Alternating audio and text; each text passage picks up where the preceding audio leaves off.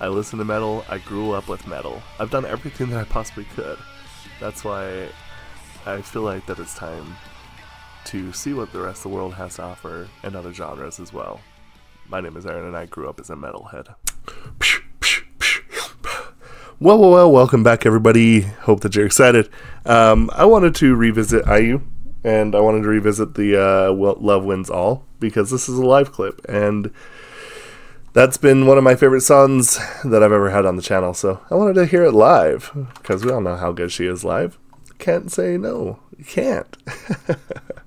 anyway, let's uh let's check it out. Yeah.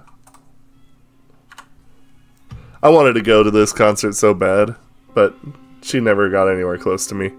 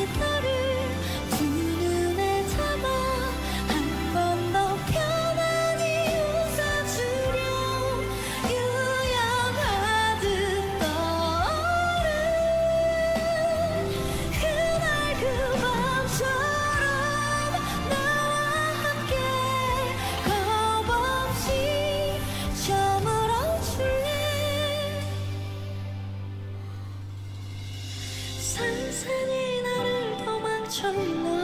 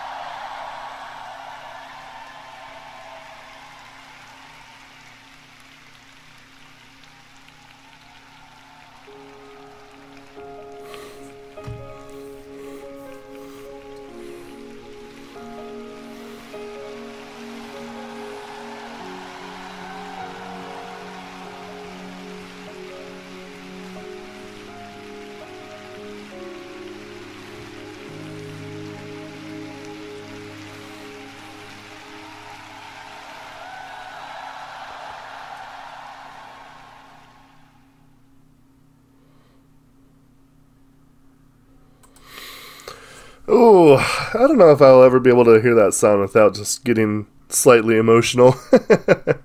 um, I've been thinking a little bit the last little bit about what I think is some of the like uh, been putting together a a small list of like what I think has been the best songs that I've heard on the channel since I started. And I think I definitely would have to put this one on there. I think this is actually legitimately one of the greatest K-pop songs out there. It's just got everything. I think that it's just so pretty. I think the way that the lyrics are written is very good. Um, she has an amazing voice. Her her imagery, I think, is another thing that is very. I feel like not nearly talked about enough. Her the ability that she can use, and like I know that she has help with like her music videos and stuff like that, and like other directors, but it has to pass her. So even if someone else like technically created it for her, I would still argue that it's still her imagery for that reason. Um, I think that it just uh, kind of just has a way of getting straight down to the heart in a lot of senses. Um, I don't know. Maybe it affects me more because I'm single and think about this kind of stuff fairly, somewhat regularly. But the melody, like I said, the melody itself, I think, is just like so perfectly written for that stuff.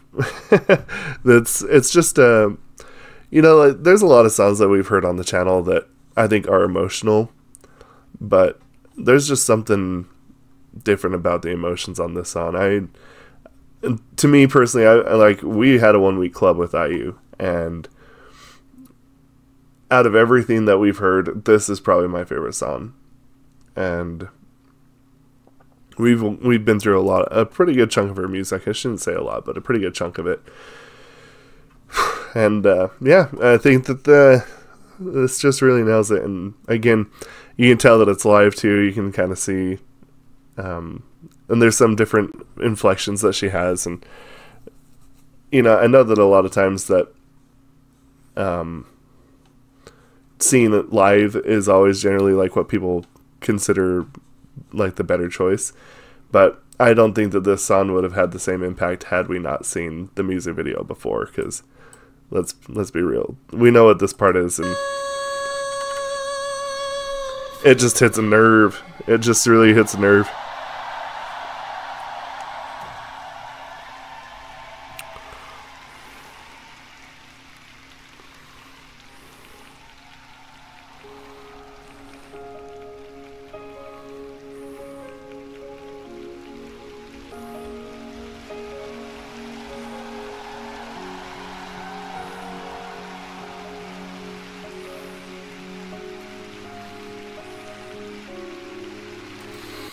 I do truly think that this is one of them, like ones that I could say is a perfect, is a perfect uh, song.